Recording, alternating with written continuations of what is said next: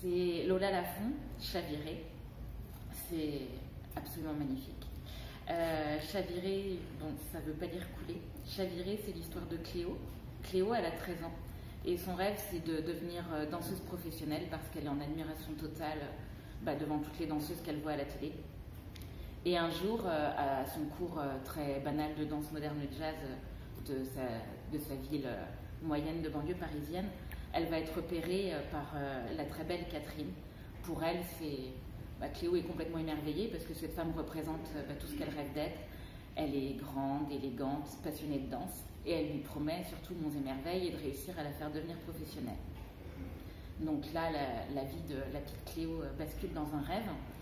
Seulement, euh, le problème, c'est qu'elle va tomber euh, dans, un réseau bah, pas, très net. Ça va être autour de la question du consentement.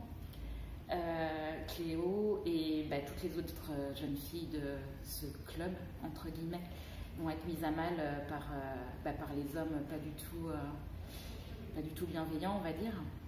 Et ça aborde, ça aborde bah, du coup la, la, question du oui ou du non. elles vont être abusées. C'est très, très éludé dans le texte, c'est écrit en italique avec des mots très naïfs parce que voilà, on est dans la tête d'adolescentes de 13 ans qui elles-mêmes ne comprennent pas euh, ce qu'on est en train de leur faire.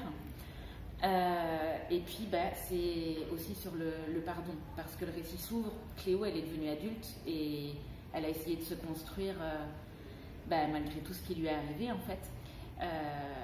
pour nous, on la voit dès le début comme une victime, mais pour elle, elle s'est toujours construite en tant que coupable, parce qu'elle n'a jamais dit non.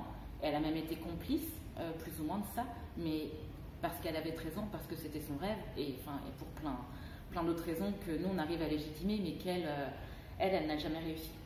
Donc c'est sur le pouvoir du pardon, le pouvoir de la parole aussi, parce qu'à chaque fois qu'elle va rencontrer quelqu'un d'important dans sa vie, elle va réussir un petit peu à pouvoir aborder la chose. Et à partir du moment où elle va réussir à se, à se confier véritablement, euh, bah, la parole va s'ouvrir et elle va se rendre compte que plein d'autres femmes ont vécu comme elle. Et ça va être la mise à mal euh, de cette, de cette pas société, mais de, ce club qui a, qui a, maltraité toutes ces jeunes filles, tous ces, toutes ces jeunes filles pardon, pendant, pendant plusieurs années. Donc c'est absolument bouleversant. Et Lola Lafont, euh, elle écrit toujours euh, sur le, corps en fait en tant qu'objet de sport. Elle l'avait déjà fait dans La petite communiste qui ne souriait jamais. Et, euh, et en même temps sur le corps pouvoir un peu érotique, je dis un peu là parce que bah, c'est pas vraiment consenti, mais sur le, la double facette en tout cas du, que le corps peut avoir. Voilà, merveilleux.